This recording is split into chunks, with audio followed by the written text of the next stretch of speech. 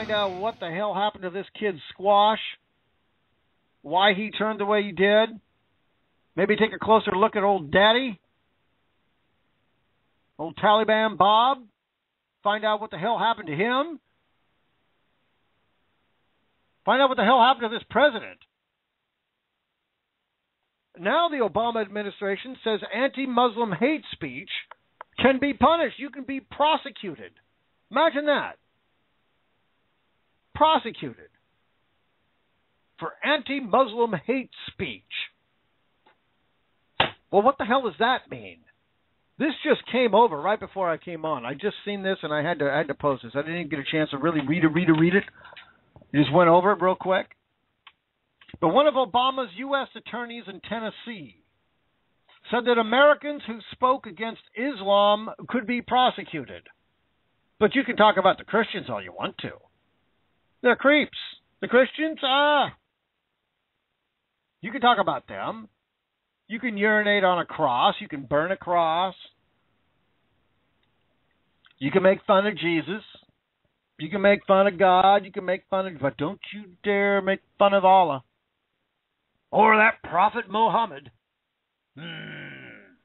Can't do that. That's hate speech.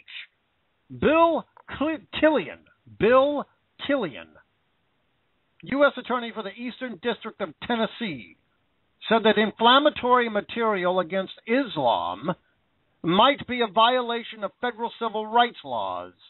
What do you mean, might be? What the hell? Now, shut up.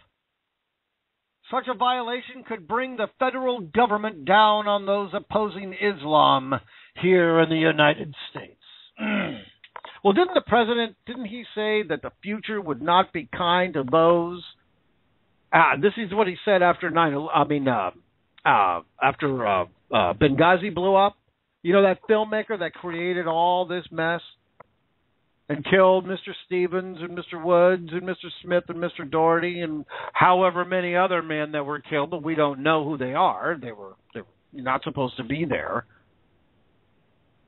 because you can't put those men down there on the books because they were doing arms deals with Al Qaeda. So we don't know how many actually died. There was a lot that was injured. We don't know that number either. We're not allowed to talk to them. Mm. As reported by the Tullahoma News, Killian and the FBI's mm, Kenneth Moore hosted a public disclosure in a diverse society to help the community learn how anti Islam speech could land an American before authorities. Hmm. This is an educational effort with civil rights laws as they play into freedom of religion and exercising freedom of religion. Well, let me tell you something, Mr. Killian.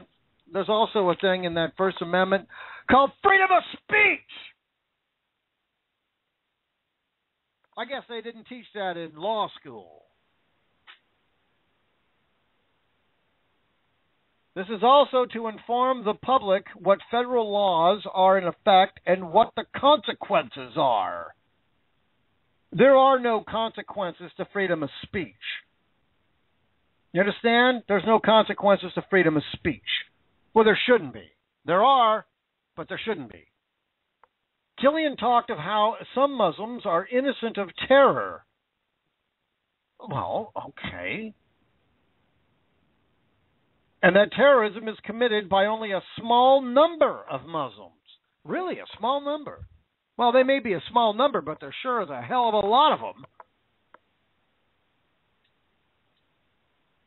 I mean, my God, the Taliban numbers and Al Qaeda numbers, and they, all of them. There's, uh, there's, you can't count all of the terrorist organizations there are. The Muslim, the anti-Muslim, I mean the uh, the Islam terrorists, whatever you want to call them, jihadis.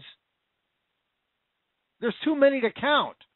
What are you talking about? There's a small number. Small number.